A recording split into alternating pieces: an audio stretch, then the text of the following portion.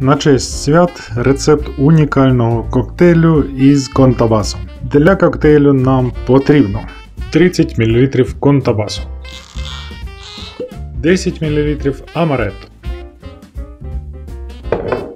ну може 20 фужер для шампанського. Ігристе вино, бажано брют або напівсолодке.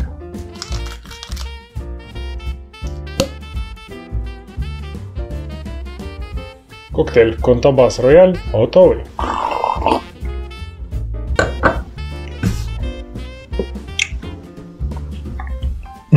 Варто спробувати на цей новий рік. З Новим роком!